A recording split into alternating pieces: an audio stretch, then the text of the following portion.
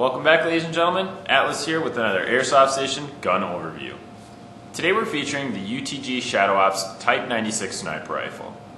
A couple things to note about this sniper rifle that I personally love because I do own this gun. Um, comes in three different colors. We've got the digital camo version that you see here. We've got it in OD green as well as black. A couple other things that are really nice about this rifle is that the parts are extremely interchangeable. We've got a full metal bolt upgrade as well as the full metal internal upgrade. Um, the parts, uh, magazines, things like that are really easy to get for it. It's a high FPS sniper rifle that'll give you a lot of distance and range as well as accurate when you're out on the field. We also do have a couple of combo kits for this thing.